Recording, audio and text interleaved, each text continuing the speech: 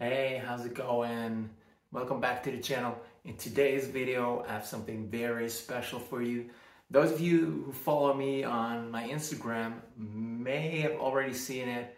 Earlier this week, I received a very, very special item, a piece of BMX history. Mat Hoffman's personal 1991 Haro Air Master. Here it is. This is the frame that Mat uh, in Head First. So when uh, he and Eddie Roman were filming for the now iconic uh, movie Head First, this is what he was riding. Um, at that time, Mat was riding for Haro, and uh, this was before, right before he um, started his own company, Hoffman Bikes. And uh, yeah, so I can't really explain how special this is because the Head First was one of the first uh, BMX um, videos I bought and uh, it blew my mind. Me and my buddy, we watch it all the time and then go ride. And I remember we would quote Mat's uh, silly jokes. And uh, yeah, Mat uh, and also Eddie Roman with his filming, editing, um, definitely raised the bar. Um, not only did Mat um, do incredible things on ramps, he also um, rode street in this video and he was the first guy to do big handrails down the stairs and uh, yes, he did it on this frame. Uh, you can see he signed it here and he actually gave this to a friend of his uh, more than 30 years ago right after um, they were done filming and um, before he started Hoffman Bikes.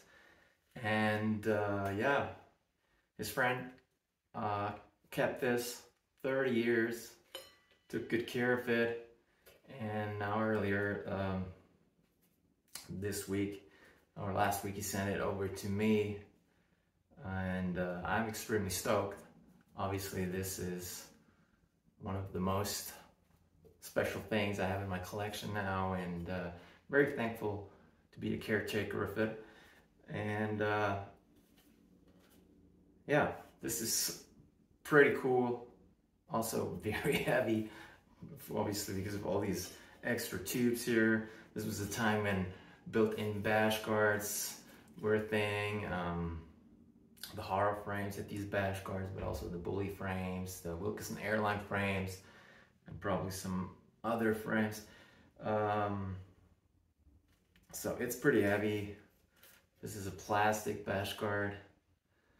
And um, yeah, you can uh, see Mat riding this frame in the video Head First um, which has to be one of the most significant BMX videos ever um, because of the reasons I've just um, mentioned.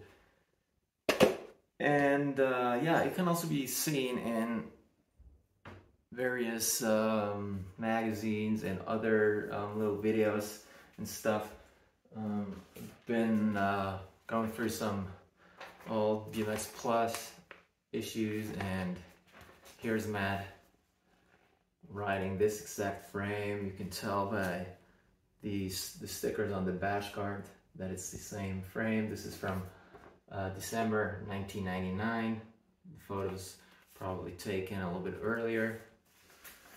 And um, this also might be the frame that Mat Hoffman rode when he jumped over the burning cars for the TV show Stunt Masters.